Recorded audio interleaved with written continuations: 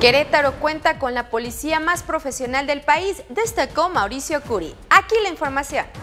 El gobernador Mauricio Curi, durante la entrega de reconocimientos a oficiales de la Secretaría de Seguridad Ciudadana, destacó que del 1 de octubre al 16 de diciembre de este año se ha detenido y puesto a disposición de la Fiscalía General a 364 personas y 1.966 más se han remitido a los juzgados cívicos.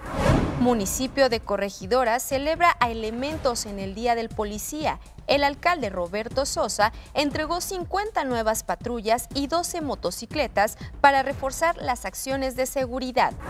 Prepara el municipio de Querétaro campaña de renovación de licencias a comercios y negocios, informó Tania Palacios Curi. Pide a la rectora de la UAC, Teresa García Gasca, herramientas de protección para migrantes. Bajarán temperaturas por presencia del Frente Frío número 14 en la capital queretana, reporta Protección Civil.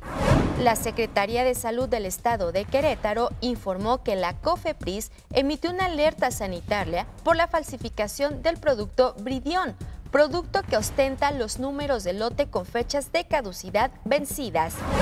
Y en la fiesta brava, la empresa Santa María anunció que ya abrieron las taquillas de la plaza de 11 de la mañana a 6 de la tarde para la venta de boletos para la tradicional corrida de Navidad con un cartel de lujo, José Fontaner y los Forcados Amadores de México, la despedida de Jerónimo, alternando con los finos diestros José Mauricio y el queretano Octavio García El Payo, con siete toros de la ganadería Fernando de la Mora. Esta cápsula informativa es presentada por Sushito. Disfruta de la plancha de Tepanyaki en nuestras cinco sucursales y te invitamos a que te suscribas a nuestro canal de YouTube Magazine TV Querétaro, dale like, comparte y activa la campanita.